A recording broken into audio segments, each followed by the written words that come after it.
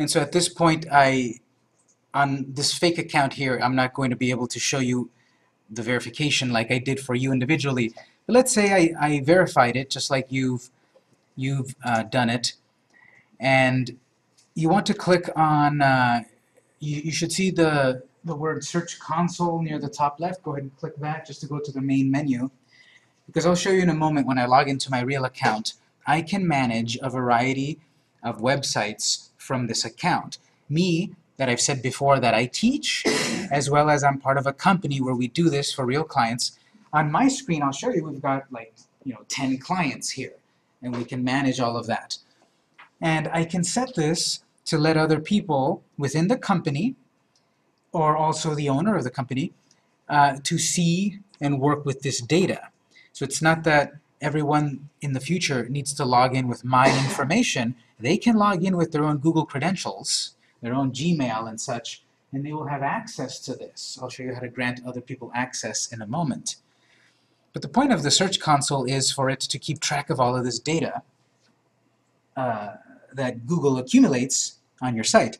But it's not going to keep it track of any data until you set it up. So it's not going to go back and tell you what happened last month if you just set it up now. And as I said earlier, well, our site, some people are going to type victor.com, and some people are going to type www.victor.com. So since we managed to verify this version right now, I can probably also take a moment to verify the other version. So click Add Property on the top right, and it says Add your property. So a moment ago we did HTTP. Now we'll do the HTTP colon slash slash www version. So it is a good idea to set both versions up because you will get different different reports. On a technical level, these are two different websites. Google sees one version without www and one version with, and therefore it's going to keep different track of different data. Yes? Even though the, the user is, pulls up the same website, even though they, one user used one website and the other, another user used another website, it takes them to the same website. Well, one user used one address, and the other user used a different address. And yes, those two addresses went to one site. That's true. But Google, the search engine, sees traffic coming from two sources. Just like if I want to get to City Hall, there's more than one way to get there. You get to City Hall, but you take different streets. So Google can give us our traffic reports for both driving directions. Yes. So when you're putting the meta tag into your site, do you, how do you separate the meta tags? It's showing my other meta tag as well. You, you can just, uh, you should just be able to press enter to give yourself a new line, Okay, and then on the next line add the other meta tag. so no comment in between. Uh, let me double check what you're looking at because no, there should not be any commas. on Or this. then I created a comment.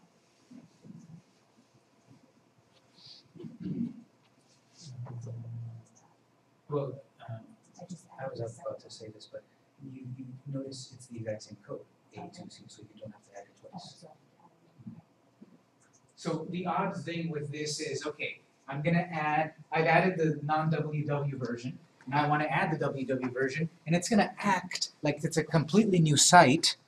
So it's gonna say again, okay, verify, choose a method, just click verify. We've already verified once. That's the funny thing. We've already, already verified once, so you should just be able to verify, and it'll accept it.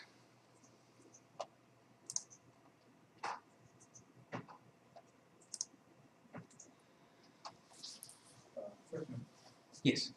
do you have to actually set that up in your domain as well? Like both, um, both addresses using the www one and then the regular? Oh, uh, that, no, you don't have to set that up with your domain provider. They kind of do this already automatically. In the old days, you know, 10 years ago and such, then you did have to go in and set up uh, the, the WW version and the non-WW version that went to the same place. But nowadays, that's such a basic thing, you don't even have to worry about that. What we have to worry about is at this point with Google Search Console. But internally on the server, we don't have to worry about that. And so those are the two versions of my site, and I want to track the data on both of those versions because people might um, people might visit that website in either of those ways. And I did say there was that other one as well. How many of you have SSL on your website?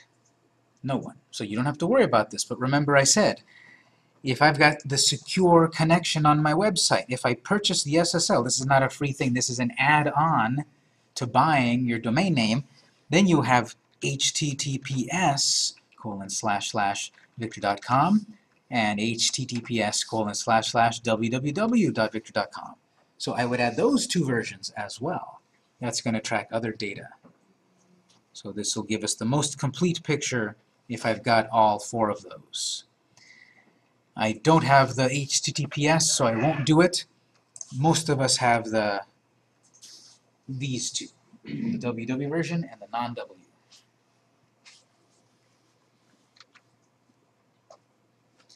Now, I might not be able to get it to show up here, so I'll show it in a different way. Um, click on, on Search Console again, even if you're already there, just click on it again. Um, does anyone get a pop-up here that says all messages and maybe a number one or number two or something? Okay, so I can't quite show it, but um, I think I can show it on my other account. But what it's, if you click on messages, this is what I'm, this is what Google said previously about setting this up will, will let us help you get site to your tra uh, get traffic to your site. So if you click on all messages, you should then have sort of like an inbox that comes only from Google that tells you um, probably one about choose your preferred domain name. Is that one of the ones that shows up? So now- Improve the search presence.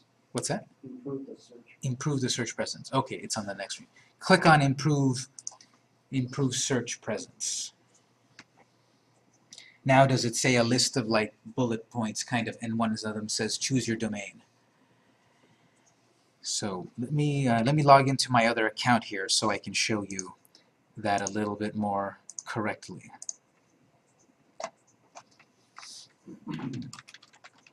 It's better to show you what I'm talking about than, than guess.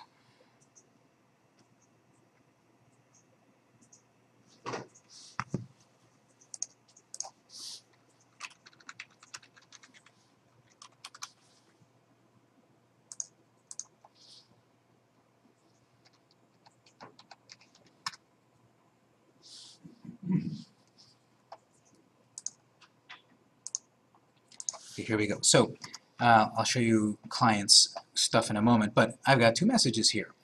And notice then lots of messages because I've set this up for a lot of clients. So you're uh, you're probably getting improved the search presence of your site, and you probably will get a version of that message for both. So we will do both. I'm going to start with the if you've got that inbox and uh, it's showing that for both WW version and non-W. Click on the non-W version first. Here's a bunch of things. Um, so the number one, add your add your website versions. Make sure you've added the WW version and the non-WW. Also add the HTTPS version. So okay, once I've already done those, but once I get SSL, I could add that. So okay, one is done. Select your preferred version, we'll do that in a moment. Select target country, we'll do that. Share access with coworkers, submit a sitemap, learn how to work with Search Console. So this is a very good tutorial that comes from Google themselves about what you should do. So we'll do number two here, which is choose whether you want your site to appear with or without www in Google search. So number two, click Set Prefer- Preferred Version.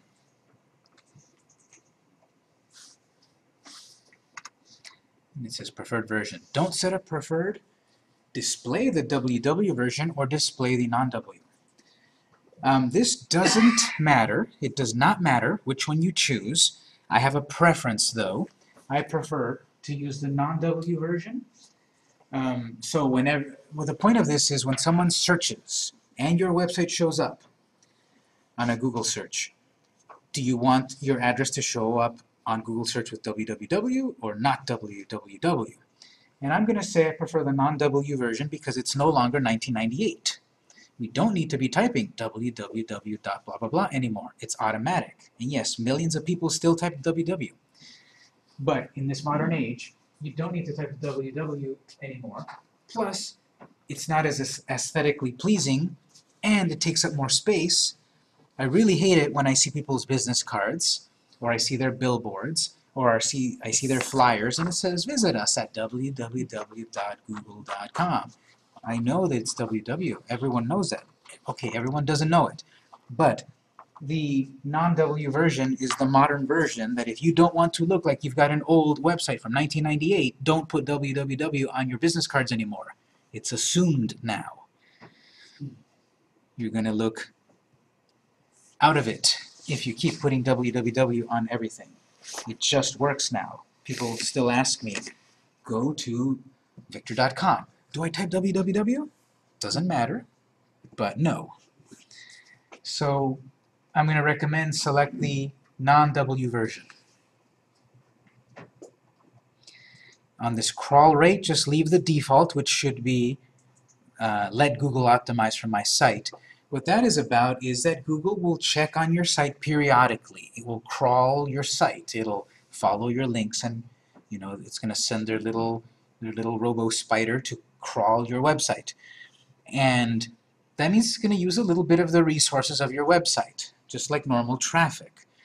So, however, if you want to limit when the days and the times and all of that when Google crawls your site, you can set that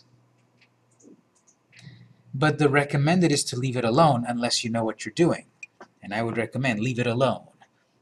The crawl rate as it is here should work fine. So if you changed the preferred domain, like I said, you should click Save.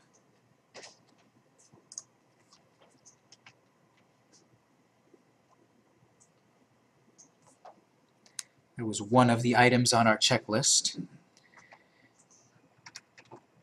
Click back on messages and open the same the same message. We'll do the www version in a moment. Go back to improve the search of the non-W version because we've got number one done, we've got number two done. Number three, select target country.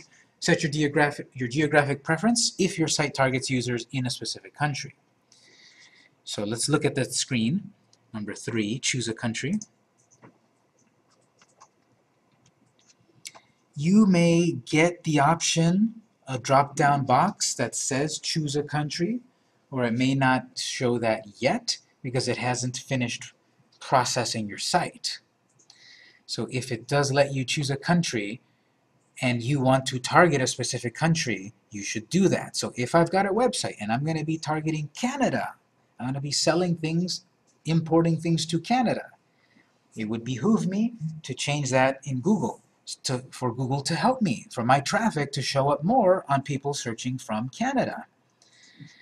Um, language or country, that is. See that?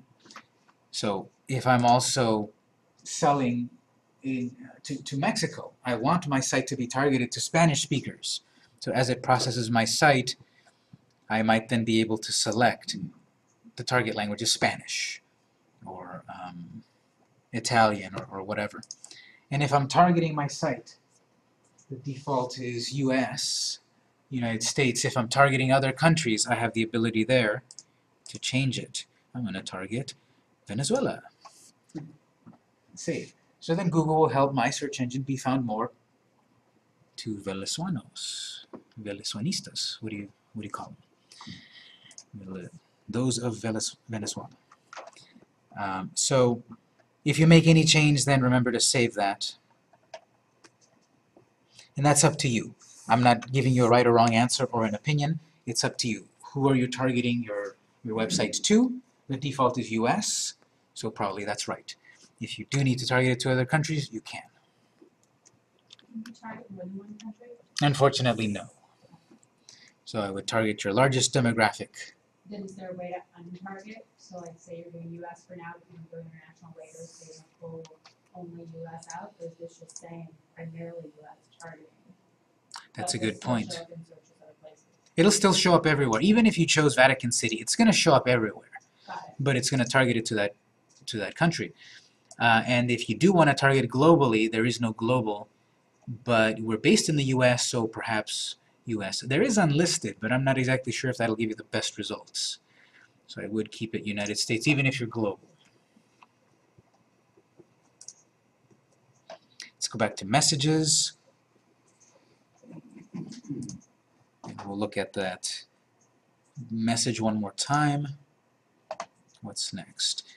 Share access with coworkers. This helps Google better understand how to crawl your site. Let's, uh, let's look at that. Manage site users. So at the moment, I'm the only one that has access to this. I set this up with my Google account. Only I can log in with my password. I could give my password to everyone in the company, but wait a minute, that's tied to my Gmail and my personal Google Plus and everything. So a better thing is add new user.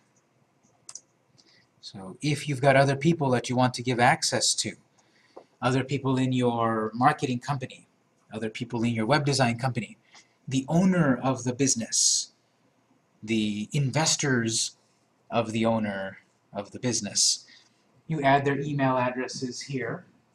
What kind of permission can they have? And it tells you either full or restricted and what the difference is. Uh, restricted will let your whoever you designate here manage most of this, except the, the deep stuff such as adding and removing uh, more users and deleting all the data and such. So if it's on full, you have full access. If it's unrestricted, it's still a lot of access, but not that stuff to cause damage.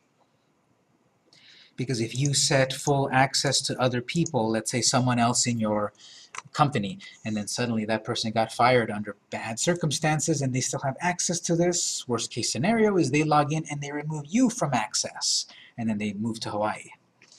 So be careful about giving full access to people. Is there a password that's needed for each user email? they will have their own password for their own email. So they will need to set up. If I've got John at gmail.com, it's going to be their Gmail. It's going to be their credentials to log in. I don't know it and I don't have access to it. So a lot of you might not need to do this, but if you need to do this, we saw where that was. It's in that um, email, and also it's kind of hidden inside of this little gear, which we'll come back later, but uh, I'm going to go back to messages and see what else is on my to-do list.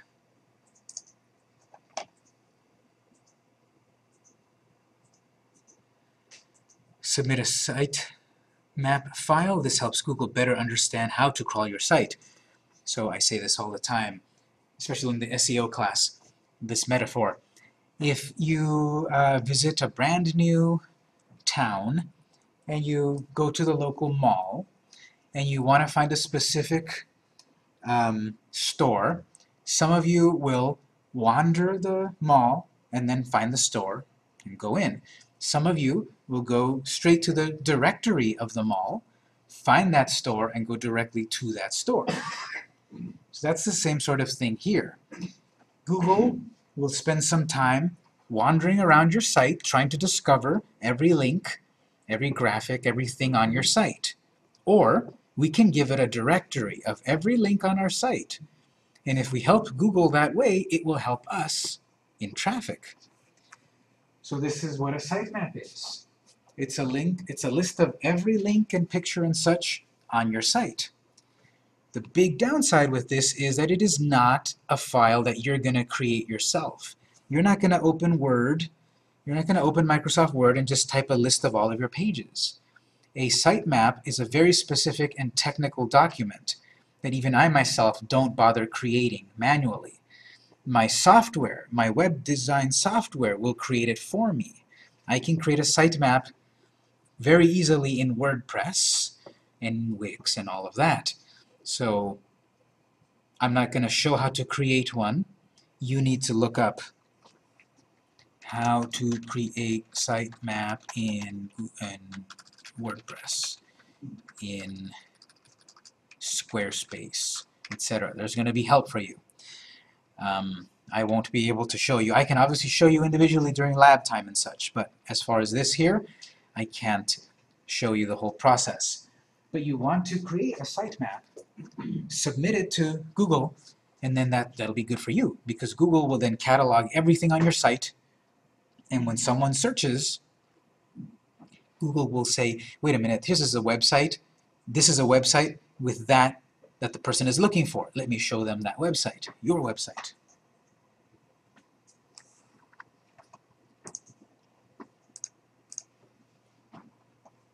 So here's an example of one that's been already set up.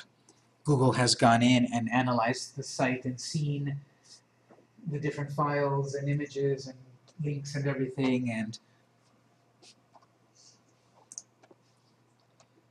it's uh, showing everything that it knows about our site and, and that's what I want. I want it to know and there, that there's no errors and, and everything. So this is something that you'll need to do at some point. It is a little technical because again it's not a plain old file that you write. It's going to be a file made out of code.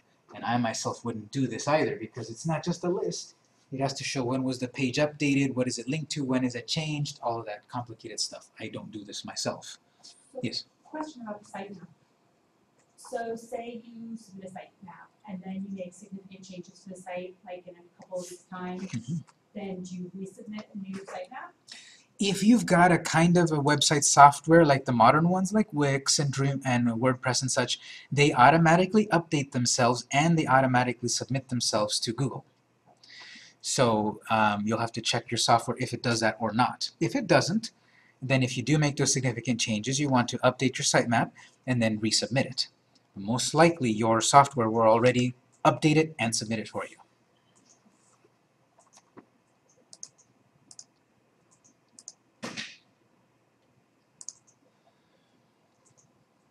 And then this last one, you'll you'll have your own time to look at it, number six, because this is a two-week class. I can spend all the time just looking at this, even if it was a four-week class. There's so much to learn about all of this stuff.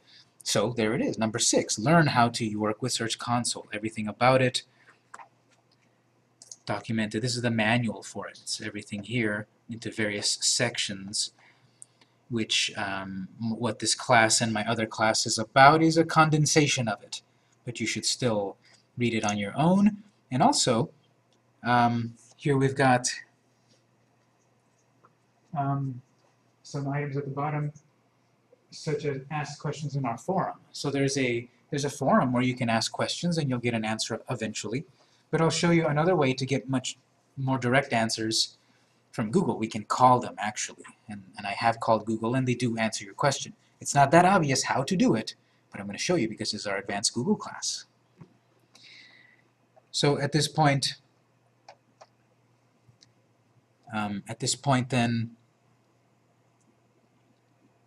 we've got, we've set some of the settings for the non-WW version of the site. We would need to do the same thing for the other version. So if you go back to Search Console, top left, and then messages. It's kind of odd here. When we're looking at this one website, we have messages only about this website. But when we go back to the Search Console, the top level, then I get messages for all my websites. So back to the Search Console, click on All Messages, and then I can go through the process of improving the search presence for the WW version. And on that one, I would also set it, when it says Preferred Domain, set it to the non-WW version. So basically that's why we set up the non-WW version for first, because we're going to use those settings and apply them to the WWW version. So what we'll do is we'll take our first break just to make sure everything is all set up. If you need any help, we'll catch you up. We'll take our first break when we come back and we'll talk about setting up um, the, um, the Google uh, Analytics no, actually, when after we come back with our break, then I'll show you what did we set up here. Then we'll set up Google Analytics and look at that. So we'll take a 10-minute break. It's uh, 7:18. We'll uh, 7:08. We'll be back at 7:18, and we'll go on.